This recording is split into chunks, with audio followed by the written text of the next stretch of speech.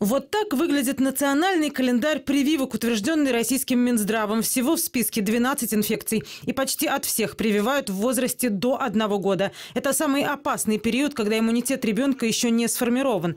Поэтому так важно вовремя защитить его от инфекций.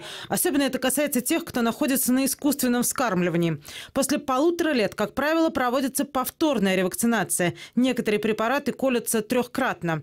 В каждой стране свой перечень болезней, от которых принято прививать. Если в России, как и в Великобритании, их 12, то в Германии 14, а в Штатах 16.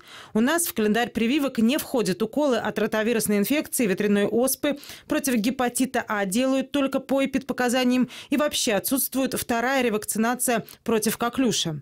Главный внештатный педиатр регионального Минздрава Светлана Пыркова развенчивает мифы по поводу возможных осложнений после прививок. Больше всего родители боятся так называемой БЦЖ это укол против туберкулеза, который делается еще в роддоме на третий-четвертый день жизни малыша. В Самарской области за последние три года зафиксировано всего два случая местной реакции на эту прививку. И это было даже не осложнение, а, как говорят доктора, более медленный поствакцинальный процесс с повышением температуры до 38 градусов, что само по себе не так уж и страшно.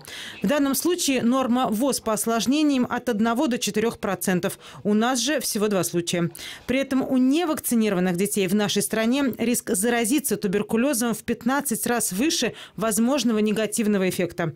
Чаще всего вирус передается даже не заболевшими, а его носителями. Таковыми после 10 лет могут стать 9 из 10 детей. Почему мы рекомендуем детям сделать прививку от туберкулеза в возрасте именно несколько дней от рождения? Потому что в первую очередь э, тот самый вакцинальный препарат, он защищает детей первого года жизни. А, это не профилактическая мера, это мера защиты от осложненных форм, таких как диссеминированный или максимально распространенный туберкулез, туберкулезованный менингит или энцефалит. То есть в случае, если э, ребенок встретится с этой микобактерией в более юном возрасте и э, до года а иногда и до трех лет, если ребенок не вакцинирован, то мы получаем то самое страшное, чего мы боимся. Все чаще в Самарской области встречается коклюш. За последние три года им заразились более 400 детей. Чаще болеют гепатитом Б. Растет число смертей от пневмонии. В этом сезоне таких случаев особенно много. Мы сейчас уже детей, рожденных начиная с 2014 года, всех в 97-98% случаев привили от пневмокока, а дети, кто не попал в эту группу, они должны, и мы им рекомендуем прививаться на каких-то других основаниях. То есть не по ОМС и не бесплатно. Нельзя делать прививки при наследственной склонности к определенным видам аллергии, а также в ряде частных случаев, когда имеются специфические диагнозы.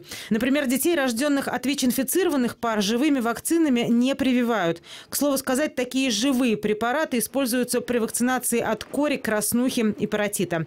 Если же до года нужные прививки ребенку по каким-то причинам не делались, наверстать все это можно и в более взрослом возрасте, но уже по индивидуальной схеме, разработанной врачом.